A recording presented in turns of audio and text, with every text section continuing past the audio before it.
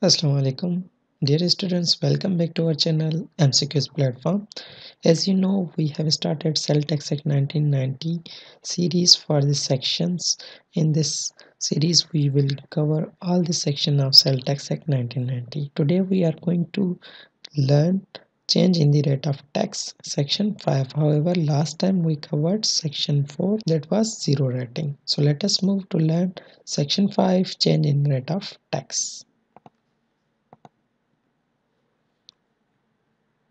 change in rate of tax देखें change in rate of tax पहले समझना चाहिए कि होता क्या है। हमारी आम लैंग्वेज में change in rate of tax उसे कहते हैं कि मिसाल तौर, आज क्या है? चौदह तारीख है। और पंद्रह तारीख को आपने पंद्रह तारीख तक मिसाल तौर एक टैक्स पे करना है। तो आपके ऊपर और सोलह तारीख को वो रेट चेंज हो गया है, या चौदह तारीख को वो रेट चेंज हो गया है। और आज चल रही है तेरह तारीख। तो आपने अगर तेरह तारीख को जो कुछ भी सप्लाई किया है, वो किस दिन के हिसाब से टैक्स उस पर लगेगा?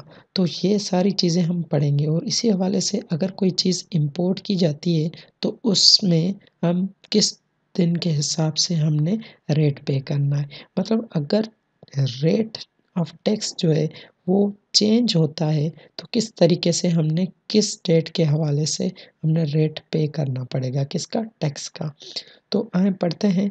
सबसे पहला point if there is a change in the rate of tax a taxable supply made by a registered person shall be charged to tax at such rate as in force at the time time of supply तो अब देखें, सबसे पहला point क्या बोलता है? बिल्कुल ज़ाहिर तरीके से बोलता है कि एक रजिस्टर्ड पर्सन है, जिसने क्या किया है? सप्लाई किया है। तो एक ट्रक मिसाल तौर उसने सप्लाई किया है। तो वो किस हिसाब से रेट पे करेगा? जिस दिन टाइम ऑफ़ सप्लाई इन्फोर्स्ड मतलब जो rate tax at such rate is enforced ठीक है ना? जिस दिन पे वो इन्फोर्स जिस दिन पे उसने सप्लाई किया, उस दिन पे जो इन्फोर्स था रेट ऑफ़ टैक्स उस तरह, उस दिन के हिसाब से उतना टैक्स रेट का पे करना है। तो दूसरा पॉइंट क्या है? Imported goods shall be charge to tax at such rate as अब पहला पॉइंट आपने पंद्रह, तेरह तारीख को एक ट्रक सप्लाई किया फ्लोर का और चौदह तारीख को रेट ऑफ़ टैक्स चेंज हो जाता है और पंद्रह लास्ट है, मिसाल तो। तो ये नहीं कि आपका रेट चेंज चौदह को हो गया है तो आपने चौदह के हिसाब से देना। नहीं टाइम ऑफ़ सप्लाई के हिसाब से, जिस दिन आपने टाइम ऑफ़ सप्लाई जो डेट होगी, उसके हिसाब से आपके ऊपर रेट ऑफ़ टैक्स चार्ज किया जाएगा। दूसरा पॉइंट है इम्पोर्टेड गुड्स याद रहे कि इस सेक्शन में और इस सेक्शन नंबर फाइव में जितना भी जो पॉइंट्स दिए गए हैं, जितने भी, उनमें कस्टम एक्ट को ज़्यादा रेफरेंस दी गई है। तो सबसे पहला point in case the goods are entered for home consumption.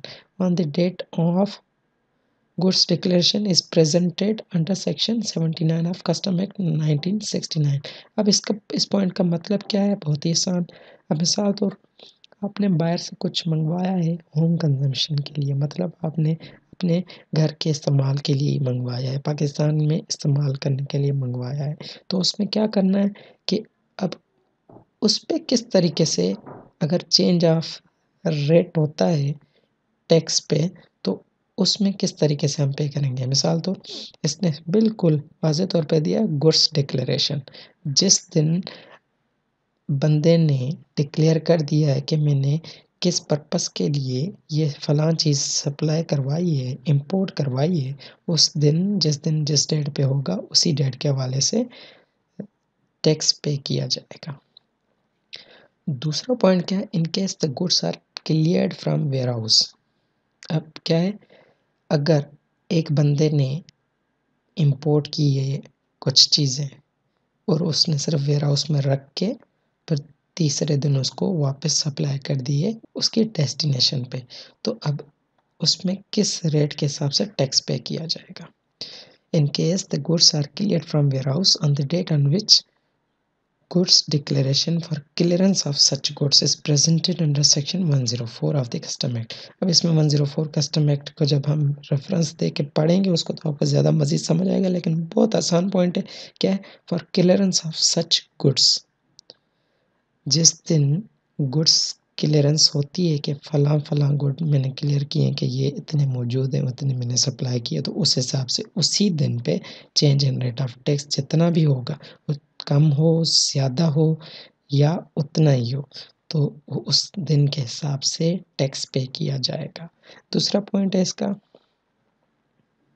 provided that where goods declaration is presented in advance of the arrival of the convenience by which the goods are imported the tax shall be charge is in force on the date on which the manifest of the convenience is delivered अब ये बहुत आसान point है। इसमें कहता है कि मिसाल तौर आपने एडवांस में डिक्लेयर कर दिया है कि भाई गुड डिक्लेरेशन आपने एडवांस में दे दिया, अभी आपके पास गुड्स पहुँचे नहीं हैं कि भाई पंद्रह मेरे टाले आ रहे हैं फ़लाँ चीज़ के। अब उस दिन नहीं होगा। जिस दिन the date on which the manifest of is delivered बाज़ाहिर तौर पे जिस दिन देखा जाएगा, उसी दिन के हिसाब से टैक्स पे किया जाएगा। लास्ट पॉइंट इसका क्या है? Provided further that if the tax is not paid within seven days मिसाल तौर सेवन डेज़ के अंदर अंदर आपने पे करना है टैक्स और आपने नहीं किया तो अब क्या होगा? अब पड़ेगी पेनल्टी यहाँ पर। क्या पेनल्टी पड़ेगी? मिसाल तौर पेनल्टी में ऐसे ही कह रहा हूँ मतलब जिस दिन आप टैक्स पे करेंगे, फिर वो भले सात सौ बड़ा हो या सात हज़ार बड़ा हो तो उस दिन के हिसाब से the tax shall be charge at the rate as in force on the date on which tax is actually paid जिस दिन आप पे करेंगे, उसी दिन आपने उस रेट के उस दिन के रेट के हिसाब से आपने टैक्स पे करना होगा। मुझे उम्मीद है आपको पूरी वीडियो पूरा कंसेप्ट समझ आया होगा। सेक्शन फाइव का change of rate of tax का। इंशाल्लाह मिलते हैं अगले सेक्शन सेक्शन सिक्स में। तब तक अपना ख्याल रखिएगा। प्लीज़ वीडियो को लाइक कीजिए और अगर आप नए हैं इस चैनल पे तो सब्सक्राइब कीजिए और शेयर कीजिए। इंशाल्लाह मिलते हैं अगली वीडियो में। तब तक अपना ख्याल रखिएगा। अल्लाह हाफिज़।